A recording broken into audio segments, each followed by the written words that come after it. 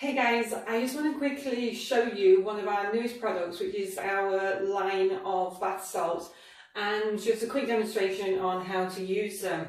I'm super pumped because I found some awesome new style of glass jars.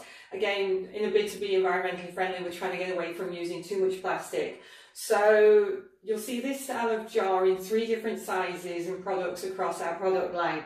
Um, this size is our bath salt and I'm super pumped because I found these awesome, again, being environmentally friendly, like reusable, Hessian, biodegradable little bags. Um, our eco-friendly wooden spoon, and obviously all of them come with our little handmade pottery bee.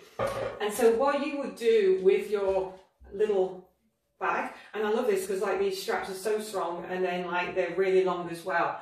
So you'd actually, I've just already put a little bit of um, the salt into the bag prior to doing the video. And you'd fill it about two thirds of the way full. Pull the strings tight. And like I say you can see they're, they're reasonably long. So I'm not in the bath right now obviously. Um, so what you would do with these straps you can drop the bag straight into the water if you want or you can hang the bag over your tap and let the water run through and dissolve all of the salt into your bath water the great thing about these little bags is that our bath salts contain dried herbs, fruits, berries and seeds that we actually grow on our acreage.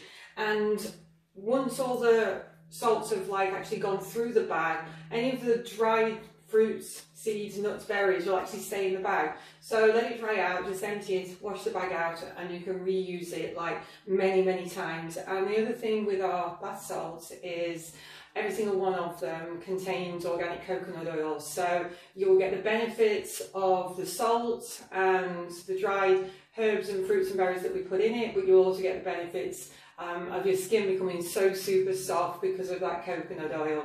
I hope that demonstration was useful and so check out the links and I'm going to be posting more photos with all the other, um, the five bath salts that we actually do.